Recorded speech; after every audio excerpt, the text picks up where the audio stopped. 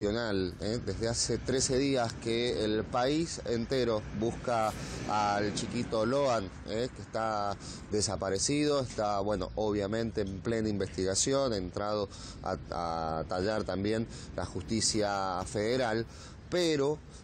acá en San Juan, además de estos cuatro llamados que han habido, eh, estas cuatro denuncias eh, y que ha obligado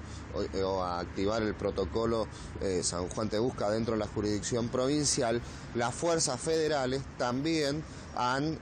activado sus protocolos. Una de ellas es la Policía Federal Argentina, que en todas las dependencias, en este caso la que está en la provincia de San Juan, acá eh, sobre la calle de Rivadavia, frente a la Plaza 25, vos fíjate que, bueno, como parte del protocolo es colocar este flyer que también está digitalizado y que, se ha pasado eh, por eh, WhatsApp y, por redes sociales, que es, bueno, la imagen del pequeño Loan para que aquel que tal vez eh,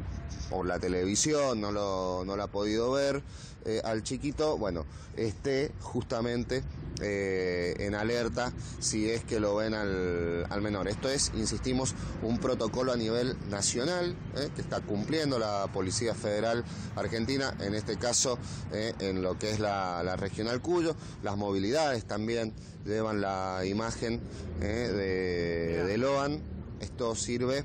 insisto, para que toda la, población esté atenta. Está bien que el foco obviamente está puesto en el noreste de la República Argentina, en Corrientes propiamente dicho, ahí en la zona de 9 de julio, que es de donde era oriundo este, este chiquito, eh, en Chaco también, pero bueno, el resto del país eh, se suma eh, a través de la Fuerza Federal, a través de la Policía Federal, bueno, con este operativo ya una vez activado el alerta Sofía, todo el país busca a Loan, San Juan obviamente también es parte de